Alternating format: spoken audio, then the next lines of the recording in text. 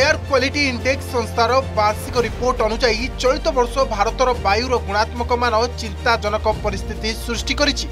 গত বর্ষ air quality ইন্ডেক্সরে Bharat অষ্টম স্থানরে থাকবে চলিত বর্ষ এ খসি আসি তৃতীয় পৌঁছিছে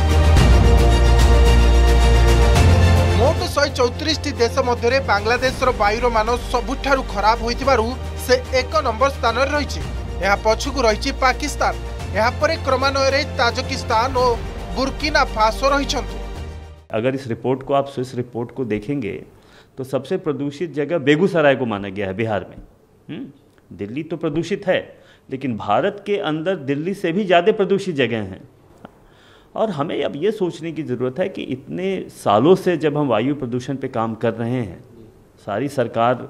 काफ़ी मेहनत कर रही है इस चीज़ को लेके, फिर भी रिज़ल्ट क्यों नहीं आ रहा है?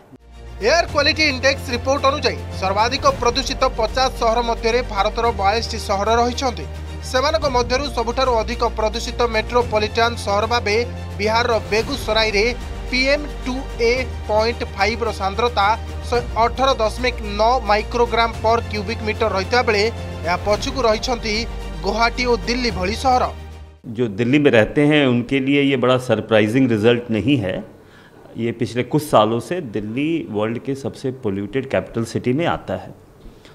और हम देख रहे हैं कि प्रदूषण का जो लेवल पिछले साल था 2023 में खासकर अक्टूबर 2023 से लेके फरवरी 2024 तक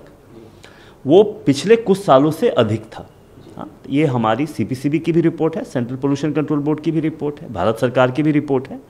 कि 2021-22, 2022-23 के कंपैरिजन में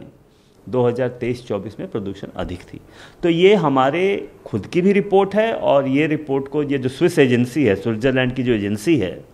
जिसने ये रिपोर्ट निकाली है तो ये बहुत सरप्राइजिंग नहीं है।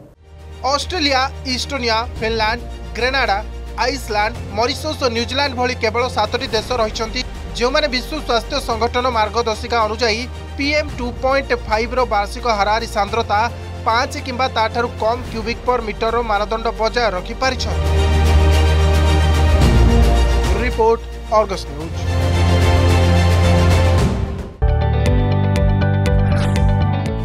जदि आपण को आम भिडी भल लगा तेब आम चैनल को लाइक शेयर और सब्सक्राइब करने को जमा भी बुलां नहीं